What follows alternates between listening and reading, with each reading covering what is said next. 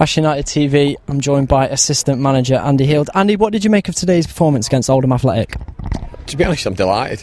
Um, we we played Macclesfield last week and we tried a, a few different things, but it, it, just didn't didn't click, didn't flow. Um, and uh, what's been really pleasing this week is everything that we've been working on in lockdown and COVID in terms of like bringing Mark Robinson in, bringing Nicky in, bringing all the analysis team in, Nicola. Um, we've done everything that we've we set out to do, so we've managed to really, you know, in a way, um, Michael said it this week. I'm, I'm, glad that happened against Macclesfield in terms of that we weren't at our best um, because we've we've been able to really analyse it, have some really good discussions with the lads. They've got used to use all the different systems that we started to do, and we've seen it come an end product today in terms of the, the phases of play. I thought we were the better team. Um, we played far far better the, the, the phases that we played. Uh, I'm sure we had more possession than them. Again, we'll see after the game.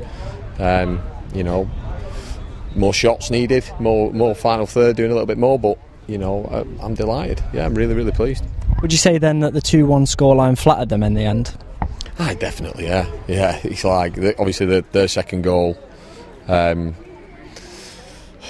it's a fell whack us his eyes all out and he's poked in the eye and he's let it play on. It's bobbled in the bottom corner. It's you know I'm not even worried about that. And the first goal's an own goal and we've just not woke up. But um, so I'm not really worried about the goals and the result but we should have yeah we did enough to win the game. Um, but no it's a you know massive credit to, to Oldham Athletic for coming down and you know the fans here today. It felt like real again and we're, we're back playing and and Keith and his, his, his staff and have been been outstanding in terms of how they've approached the game. It's been great chatting with them, and I wish them all the best.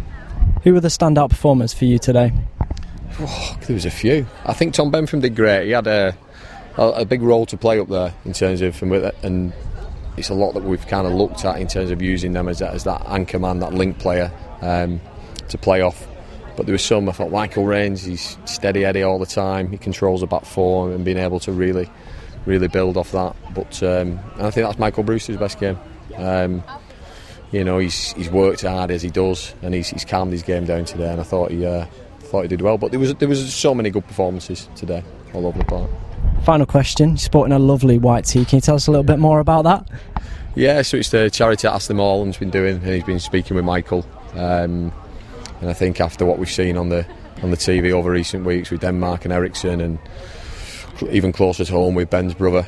Um, it's a it's a massive charity. As a junior football manager myself, um, you know I think more needs to be done about getting defibrillators and, and, really raising raising attention to the charity. So we're really proud to support it today, and um, I wish Ashley all the best with with supporting, and we'll continue to do that here at the club.